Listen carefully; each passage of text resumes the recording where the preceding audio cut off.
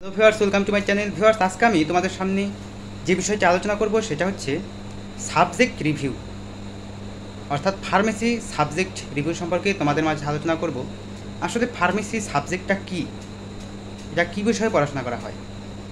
এবং এই ফার্মেসি বিষয়ে পড়ে, অর্থাৎ ফার্মেসিটা আসলে কিন্তু বিষয় না, এটা একটা ডিপার্টমেন্ট এই ফার্মেসি ডিপার্টমেন্টে পড়ে আমাদের ভবিষ্যৎ কীরকম? আমরা ভবিষ্যতে কেমন অবস্থানে যেতে পারব? এই বিষয়টি পড়াশোনা করে। চলো জেনে যাওয়া যাক বিষয়টি সম্পর্কে। আসলে জাহাঙ্গীরনগর বিশ্ববিদ্যালয় থেকে ভর্তি পরীক্ষায় জাহাঙ্গীরনগর বিশ্ববিদ্যালয়ে চান্স পাওয়ার পর, অর্থাৎ সায়েন্স থেকে ভর্তি পরীক্ষা দিয়ে তুমি যদি চান্স পাও, সেখানে সায়েন্সের স্টুডেন্ট হিসাবে তোমাদের জন্য কতগুলো সাবজেক্ট নেওয়ার সুযোগ থাকে? যেমন বায়োকেমিস্ট্রি মাইক্রোবায়োলজি ফার্মেসি মানে এগুলো সাবজেক্ট সম্পর্কে তোমাদের চয়েস নেওয়ার সুযোগ থাকে যে কোন সাবজেক্ট নিয়ে তুমি পড়তে চাও, কোন বিষয়টি নিয়ে তুমি পড়াশোনা করতে চাও। তাহলে তোমাকে তখন কিন্তু তোমাকে, তোমার সুযোগ দেওয়া থাকে কিছুদিন টাইম থাকে যে তুমি চিন্তা করে নির্ধারণ করবে কোন বিষয়টি সম্পর্কে তুমি পড়তে চাও। এই ফার্মেসি কিন্তু এখন বললাম হচ্ছে বিশ্ববিদ্যালয় থেকে ফার্মেসি বিভাগে যে পড়ার সে বিষয়টা বললাম এই ফার্মেসি বিষয়টি কিন্তু ডিপ্লোমা ফার্মেসি অর্থাৎ আইএসটি অর্থাৎ ইনস্টিটিউট অফ হেলথ টেকনোলজি এখান থেকেও কিন্তু ডিপ্লোমা ফার্মাসি কোর্স কমপ্লিট করা যায়। এবং ফার্মাসি কোর্স কমপ্লিট করে তুমি ঢাকা বিশ্ববিদ্যালয় এবং রাজশাহী বিশ্ববিদ্যালয় থেকে বিএসসি ডিগ্রি, এমনকি বিএসসি এমএসসি পিএইচডি এগুলো করার সুযোগ থাকে। কিন্তু কেউ যদি ম্যাথসে থেকে এটা কমপ্লিট করে, তারপরে কিন্তু তার উচ্চশিক্ষার তেমন সুযোগ হয় না। আর তুমি যদি আইএসটি থেকে ফার্মেসি ডিপার্টমেন্ট ডিপার্টমেন্টে পড়ে তুমি বিএসসি করো, তাহলে কিন্তু তুমি বিএসসি করতে পারবে। এবং বিএসসিটা কোন বিষয়ের প্রতি করতে পারবে সেটা হচ্ছে ফুড অ্যান্ড নিউট্রিশন অর্থাৎ খাদ্য এবং পুষ্টি। খাদ্য এবং পুষ্টি এই বিষয়টিতে কিন্তু তোমরা বিএসসি করতে পারবে অথবা মাইক্রোবায়োলজির উপরেও বিএসসি করতে পারবে। আর এটা হচ্ছে প্রথমে বিশ্ববিদ্যালয়ের কথা বলি।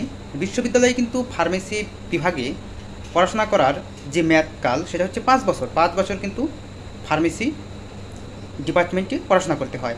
আসলে এই ফার্মেসি ডিপার্টমেন্টে যে পড়াশোনা করতে হয়, এখানে যদি যেমন আগেই তো বলেছি জাহাঙ্গীরনগর বিশ্ববিদ্যালয়ে যদি পড়াশোনা করতে চাও, সেখানে চান্স পাওয়ার পর সায়েন্সের স্টুডেন্টের কতগুলো সাবজেক্টের কতগুলো সাবজেক্ট নিয়ে পড়াশোনার সুযোগ থাকে, যেগুলো নির্ধারণের কিছুটা সময় দেওয়া হয়।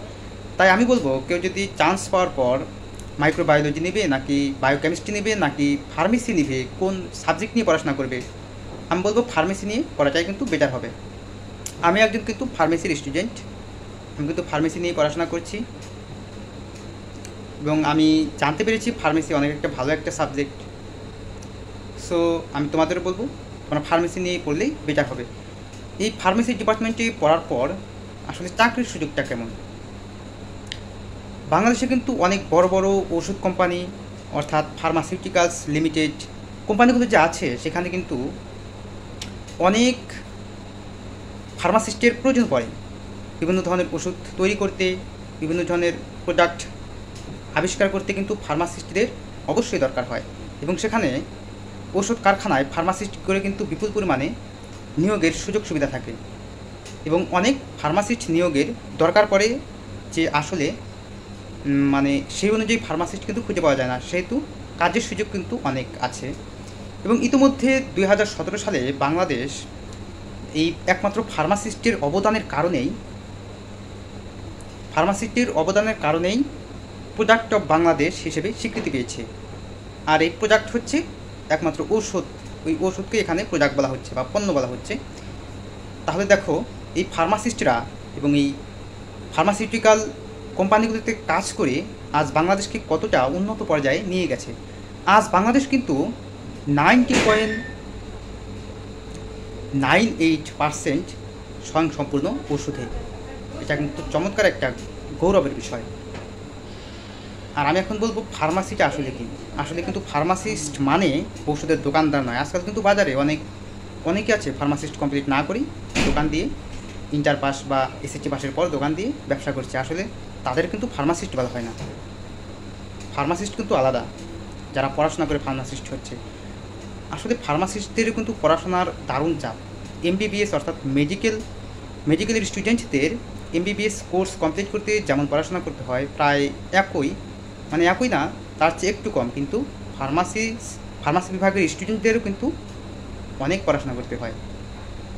তাহলে বুঝতে পারছ, এটা কিন্তু অনেক ভালো একটা সাবজেক্ট ফার্মাসিস্ট হচ্ছে তারাই যারা বিভিন্ন ওষুধের মান, গুণাগুণ, সেটা তৈরির প্রক্রিয়া, এগুলো সম্পর্কে যে একমাত্র সুন্দর এবং স্বচ্ছ ধারণা যার আছে সেই কিন্তু ফার্মাসিস্ট যেমন একটা এমবিবিএস ডক্টরের কাজ কি? সেই ডাক্তার কি করে? হাসপাতালে রোগী দেখে। রোগীকে কোনো কোনো ডাক্তার আছে যারা রোগী দেখে? তাদের লক্ষণগুলো নিশ্চিত করে, তাদের রোগ নির্ণয় করার পর তাকে কি কি ওষুধ দিতে হবে সেই ধরনের তাদের কাজ হচ্ছে প্রেসক্রিপশন লিখে দেওয়া। প্রেসক্রিপশন করে দিলেই সেই ডাক্তারের কাজ শেষ হয়ে গেল। আসলে কি এই প্রেসক্রিপশন এবং ওষুধগুলো লিখে দিলে কি রোগী সুস্থ হয়ে গেল? আসলে না। সেই ওষুধগুলো সেই ওষুধগুলো সম্পর্কে যে একমাত্র ভালো ধারণা, সেটা কার? একমাত্র ফার্মাসিস্টদের কিন্তু স্বচ্ছ ধারণা থাকে। কারণ তারা হচ্ছে ফার্মাসিস্ট। ওষুধের আবিষ্কারকই হচ্ছে তারা? তাহলে যেমন এমবিবিএস ডক্টর ছাড়া, এমবিবিএস এফসিবিএস ডিগ্রিধারী এই ডক্টরগুলো ছাড়া যেমন হাসপাতালে রোগীদেরকে সেবা দেওয়া কঠিন হয়ে পড়ে? ঠিক তেমনি রোগীদের সার্বিক সুস্থতার জন্য ফার্মাসিস্টের অবদানের কথাও কিন্তু ভুললে চলবে না। এক কথায় বলতে গেলে একদম অপরিসীম। মানে তাদের যে অবদান মানে রোগীদেরকে সুস্থ করার জন্য। তাহলে বুঝতে পারছ, ফার্মাসি বিষয়ে পড়াশোনা করে কিন্তু ভবিষ্যৎ অনেক ভালো হবে। এবং অনেক ভালো একটা সাবজেক্ট।